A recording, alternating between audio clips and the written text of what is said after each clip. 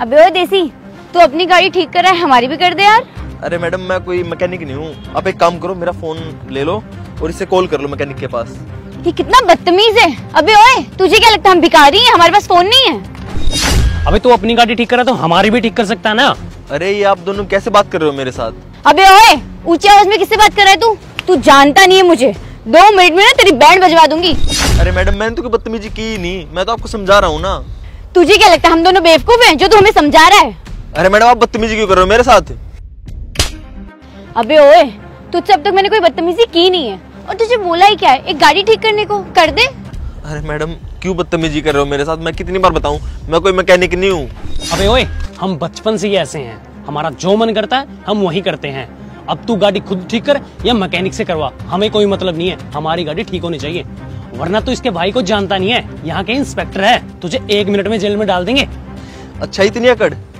कोई नहीं तुम्हारे भाई के पास चलते हैं। देखते हैं सही का साथ देगा या गलत का। चलो।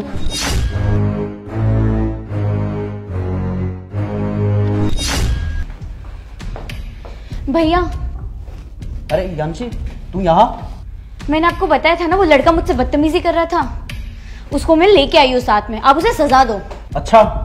उसकी इतनी मत अंदर बुलाओ उसे। मैं भी तो देखूँ पुलिस वाले की बहन को छेड़ने का अंजाम क्या होता है।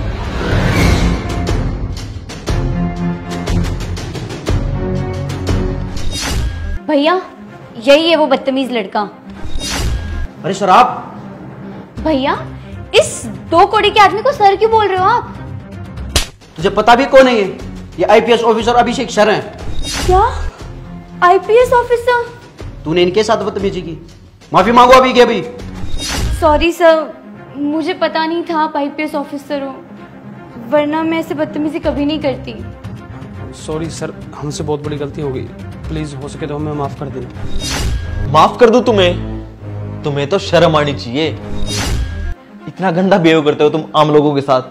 तुम जैसे पुलिस वाले की वजह से पूरा पुलिस प्रशासन बदनाम है। और ये क्या तुमने अपनी बहन को लोगों को परेशान करने के लिए बाहर भेजा हुआ क्या? शर्म आनी चाहिए तुम्हें। अगर मैं कोई गवर्नमेंट ऑफिसर नहीं होता तो तुम तो मुझे जेल में डाल देते। आम आदमियों के साथ यही करते हो ना तुम सब। मैं चीफ मिनिस्टर साहब को बताऊँगा कि हमारे डिपार्टमेंट में क्या चल रहा है। और मैं पूरी कोशिश करूँगा कि तुम सस्पेंड हो जाओ। और तुम्हारे जैसे लोगों की इस डिपार्टमेंट में कोई ज़रूरत नहीं है।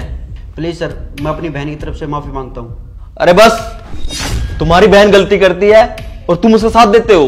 तुम अपनी बहन की गलती में बराबर के साझेदार हो तुम्हें माफ़ नहीं कर सकता मैं। अगर मैंने तुम सबको छोड़ दिया ना तो पुलिस डिपार्टमेंट ऐसे ही बदनाम होता रहेगा। सर सॉरी प्लीज़ ऐसा मत कीजिए। जब तक इन दोनों को बात करने की तमीज नहीं आ जाती ये जेल में ही रहने चाहिए।